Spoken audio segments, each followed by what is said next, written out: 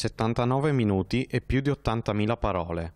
Il primo discorso sullo Stato dell'Unione della Presidente della Commissione Ursula von der Leyen ha toccato una moltitudine di temi, come l'ambiente, il digitale e le migrazioni. Accanto alla revisione degli ultimi mesi, qualche proposta per il futuro. The European Commission is proposing to increase the 2030 targets for emission reduction to at least 55%. Von der Leyen ha rilanciato più volte l'importanza del Parlamento europeo nel proporre soluzioni nuove, come un salario minimo a livello comunitario. And this is why the Commission will put forward a legal proposal to support member states to set up a framework for minimum wages. David Sassoli, presidente del Parlamento europeo, è rimasto soddisfatto del discorso di von der Leyen. Adesso ho bisogno di non fermarci, è il messaggio della Presidente von der Leyen che raccogliamo volentieri perché abbiamo bisogno soprattutto di riconciliare l'Europa alla vita concreta dei cittadini e alle loro difficoltà. Reazioni miste invece per le delegazioni italiane. Il centrodestra non è convinto del lavoro svolto fin qui dalla Commissione, ha spiegato il leghista Marco Campomenosi. Non mi è piaciuta l'assenza totale di autocritica rispetto agli errori della Commissione europea, perché se siamo nella situazione attuale, se già prima dell'emergenza Covid l'Europa era il continente la cui economia cresceva meno nel mondo, è anche perché si erano sbagliate politiche economiche e accordi commerciali che hanno danneggiato il nostro saper fare nel mondo. Soddisfazione dall'altro lato dell'emiciclo, con l'europarlamentare del Partito Democratico Alessandra Moretti che ha sottolineato l'importanza di temi come il lavoro e le migrazioni. Beh, un intervento molto appassionato, molto determinato, con cui la Presidente ha dato delle notizie molto importanti. E cioè dopo aver fatto un'analisi di quello che l'Europa ha fatto fin qui per lottare contro la pandemia, ha affermato la volontà di cambiare il regolamento di Dublino, quindi una politica sull'immigrazione che cambi completamente il volto dell'Europa, che diventerà un'Europa davvero solidale e corresponsabile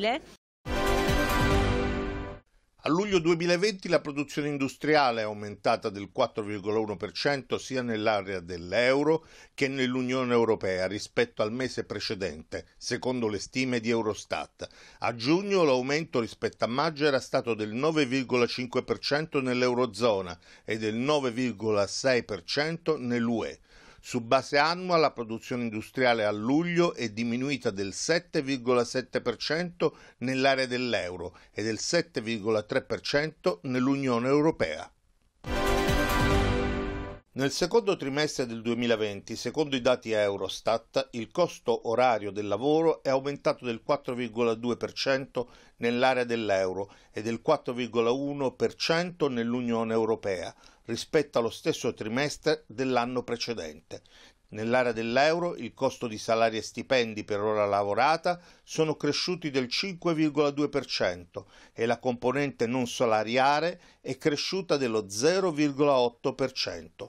Nell'UE invece i costi delle retribuzioni orarie e salari sono aumentati del 5,3% e la componente non salariare è aumentata dello 0,1%. Sia nell'UE che nell'area dell'euro l'aumento dei costi salariari orari indica che la diminuzione del numero di ore lavorate a causa della crisi Covid non sono state completamente compensate da una corrispondente diminuzione dei salari.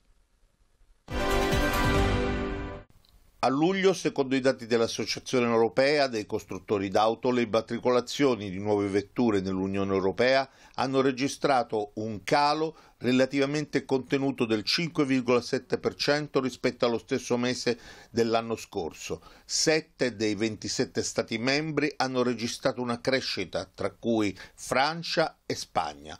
Durante il mese di agosto, tuttavia, il mercato automobilistico dell'UE ha registrato nuovamente un calo più marcato, meno 18,9%, anche se meno drammatico rispetto all'inizio dell'anno.